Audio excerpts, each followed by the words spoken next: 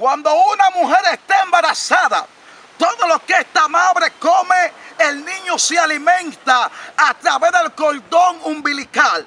Todo lo que esta mujer puede dirigir es un alimento para fortalecer al bebé. El cordón umbilical es el canal la cual el alimento puede ir para alimentar al niño. Pero llega un momento donde la madre da a luz y cuando ella da a luz el bebé, ya el bebé no necesita el cordón umbilical para alimentarse porque se alimenta de una manera directa. El Espíritu de Dios hablaba mi vida. Me decía mi siervo, ¿sabe por qué? Hay tanto ministerio pamado, tanto ministerio frustrada, tanta gente con llamado poderoso, llamado glorioso, que yo mismo llamé, pero están detenidos porque se han conectado en el suelo, tienen su cordón umbilical en la tierra, por eso no crecen, por eso no avanzan. Yo vengo a darte una palabra poderosa de parte de Dios.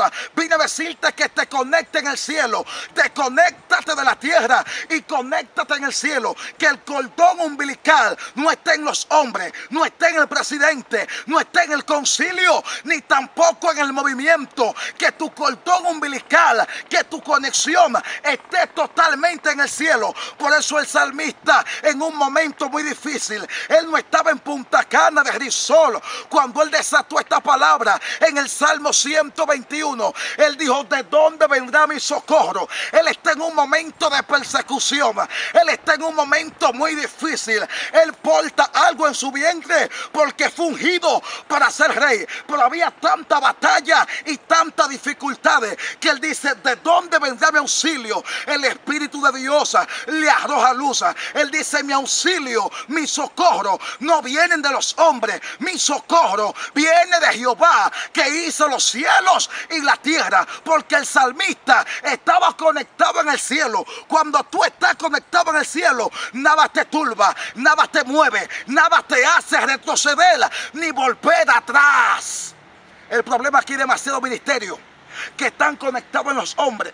Tienen su confianza en los hombres. Y cuando el hombre le falla, están frustrados. Dicen, no vuelvo a avanzar. Porque hay muchos que dependen del otro. Hay muchas personas que tienen ministerio poderoso, pero están dependiendo de otro. Yo vine a decirte, no es necesario que otro maque para tú comer. Levántate en Dios.